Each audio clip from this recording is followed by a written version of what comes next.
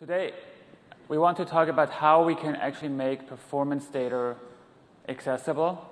And by accessible, we mean how can we really enable all people in an organization to make use of all the great data, all that information uh, that all of us are collecting. And for us, the answer is to move to conversational user interfaces and go beyond dashboards. The idea is really we want to build a digital assistant that can help us as professionals really do some of the repetitive work that we have to take care of or take some of the work away that computers just can do quicker and more efficiently so that we can really focus on the tasks that really require left and the right side of our brain.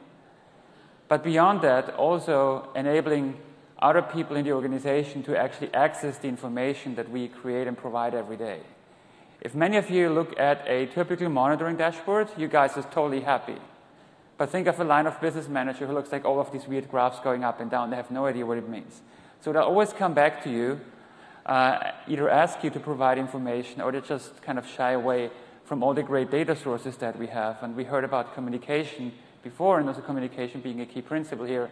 Making our data and the information wisdom we have available is a key piece to that. Last year, for those who were here last year, uh, I showed the first kind of prototype that we built of a conversational interface. This is like Slack, you could start talking in natural language. So the idea was really move beyond typing in simple commands, but can you could have a conversational interface. Obviously, just putting Slack in front of an API doesn't really help you a lot. So we focused a lot of our work on actually building a backbone um, that really provides meaningful answers. Because just showing you data and showing you data in a different way doesn't really help a lot. So what we really need, and luckily we have this information, we have these possibilities available these days. We need some AI-powered systems that help us to take certain tasks away from us that AI can do as well as as good as we can do. And this is an example here of a real-world example. So what you can see here is the summary of a very large-scale production problem. This was a production Mesos cluster running a couple of thousand machines. On the top, you see it's like 800 billion dependencies. So machines running containers, containers running services, services talking to other services, providing functionalities to end users. And 820 billion is quite a lot. On the lower right side, you see what the system actually looked like. And for some funny reasons, it really looks like a mushroom cloud reason is there's a couple machines running lots of containers with lots of services, talking to many other services, eventually being used by a couple of applications. So if you look at that problem, it will usually create like millions of alerts in your system because the system's trying to recover itself, creating new instances, they crash again, and so forth. And you will have to figure out what the actual problem is. It will take you quite a while. What you see on the left-hand side, the actual issue that was going on there was a TCP retransmit rate due to a flaky network that was causing some containers to time out, being killed, restarted, killed, restarted, killed, restarted. It's not that you couldn't figure it out yourself, but today we are able to build machines and put as much operational intelligence for analysis into these machines that they can help us with this problem. The difference is, do I need to look at the data for hours to figure it out while my system keeps on doing uh, weird stuff? Or do we get this information right away? So it's really about this combination of having interfaces plus also having the technology backbone to make these things work. But it's not about technology alone. It's really not everybody in your organization is a performance or monitoring geek. And we really mean geek in the most positive way possible. But when we create all this data, keep in mind there are other people in your organization, especially as you become more digital and you like implement new things, there are people interested in your data suddenly that don't have ever maybe used a monitoring tool, that even have used a development tool, have no background, but they still want to get access to this information. And a lot of people, whenever we start talking about AI, it's about, okay, you're trying to replace humans. And that's not what this is about. It's not about replacing humans. This is a study that was done by Forrester, and they were asking executives, so which are the areas where you guys fail to hire enough people? What are you guys worried about? And it just was at a very big company here in New York yesterday, and they told me exactly the same things. I have to scale up my team with all that stuff, and I have no idea where I can find the people. What you can see here, it's IT development infrastructure, so operations and development, business analytics plus customer service. people. So the good thing for you guys in this room is, good news is, there's lots of opportunities out there and you can pick and choose. The bad thing for the industry is there will never be enough of you because we can't scale up as quickly as we could. Just another hint here. Uh, we see from a lot of companies that they want to increase the monitoring footprint because today, just to give you some numbers, about like 5% of all applications running are really deeply monitored to the extent that you can easily diagnose them. Some of the others is just basic CPU memory monitoring. And companies want to move to 25%. So the thing here is, you can do all of this. We can do all of this because there's simply not enough of us. But we said, yeah, but everybody knows how to ask a question. Everybody can speak up what they actually want to do and just ask a very simple question.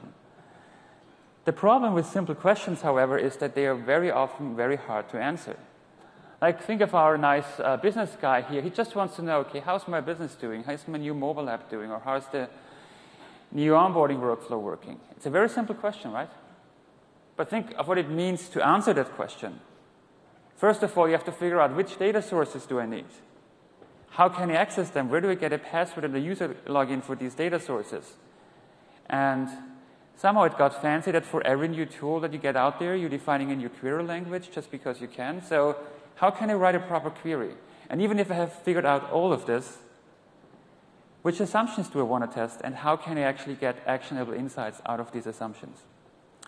And that's why we built what we call a digital assistant that can talk to multiple stakeholders, is able to answer complex queries, and really proactively helps you. And we kind of want to show it live here on stage and get your feedback on it. First situation is Dave and I are going to stand up in the morning. And we're late. I really was late for the rehearsal today. David usually never is. Just oh pretend both of us are late. We're in the stand up. We know how, what we have to figure on right now. Problem is, we're late. So we could go back to our desks, 10 minutes, look at everything that happened around. yesterday. Yeah. But it, we have another idea. Yeah. So let me introduce you to Davis, who could potentially expedite this process. Echo, launch Davis. How can I be of service? What happened yesterday? It looks like 12 problems occurred yesterday between 12 a.m. and 11:59 p.m. After giving it some thought, here are my top 3 problems. First off, there was a global outage for synthetic-based web checks, which affected Weather Easy Travel, but it closed yesterday around 8:50 p.m. Next, there was a high number of connectivity failures, which affected CouchDB, but was resolved yesterday around 8.55 p.m. Finally, there was an overwhelmed CPU, which affected VMware Hypervisor, but it closed yesterday around 7.30 p.m. Would you be interested in hearing more about the first, second, or third problem? Wow, Alois, that third problem seems like we should probably look into that first. The third one, This problem started yesterday around 6:40 p.m. when a degradation in user action response time started impacting VMware Easy Travel. Eventually, VMware Hypervisor experienced a degradation in user action response time yesterday around 6:45 p.m. This problem appears to be resolved now. However, I would recommend investigating the root cause of this problem to see if there's a way to avoid this in the future. Would you like me to open this for you? Absolutely. Okay, here you go. So, and what you can see here, it would point me right to the actual entity that was involved in this.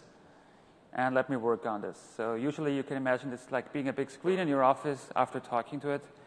But let's spend just a second here what happened in the background here. So, it pointed me to the CPU issue. But what it did in the background, it really analyzed everything that was going on up here and was watching how that system failed, how users couldn't use the application anymore, and how eventually the CPU saturation was the cause here. So instead of like going through all those problems, in the beginning it was 12, it was taking me right to the machines that were not doing fine. And we could discuss this now in the stand-up, but we're not always in a stand-up. So sometimes we just want to get it to information um, in other ways. So it's not always about talking, but yeah, I know that Dave, yeah, he wants just to check in. Other people check Facebook, he's checking I'm on the status? run. I'm leaving for the office. Um, maybe on my way home, driving in my car, but I need to check out something really quick. and I want access to that on-demand information. So I have Slack on my phone here, and uh, this is our Scrum channel. And I'm going to ask Davis if he can help me out by asking what's up.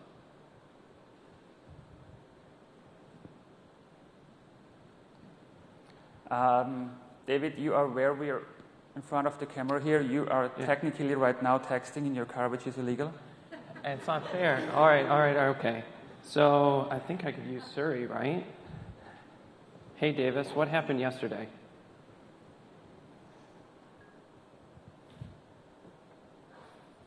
Okay. Uh, anyways, David. Just take over, please. Yeah.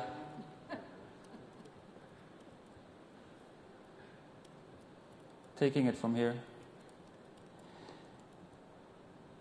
Yeah, and beyond that, I mean, these were pretty technical use cases. So we used the stand-up one, we used the other interface, but there are other scenarios as well. So we said we want to open it up to other audiences, and we have our team meeting on Thursday. Actually, we don't have our team meeting because we're here, We're but here, right. technically we would have our team meeting.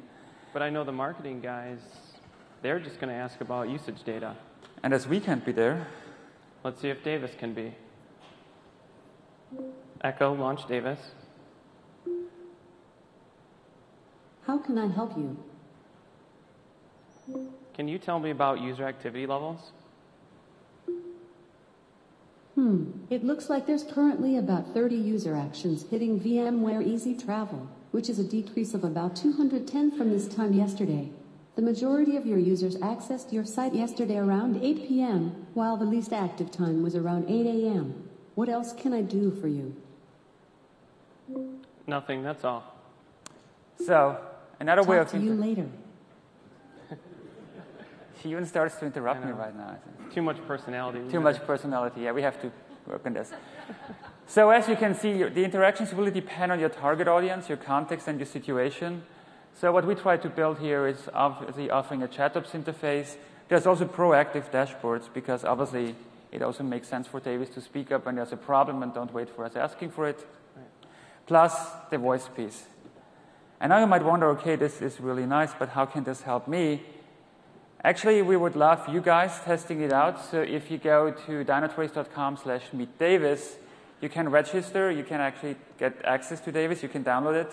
And as the conversational interface by itself is not that much fun, as you've seen, and you also need the backend, we also give you free access to the Dynatrace AI platform. You can start using it, and it's then all on GitHub. It's a project that we invite you to, and you can even extend Davis with your own conversation because, because all the conversational code is all open source.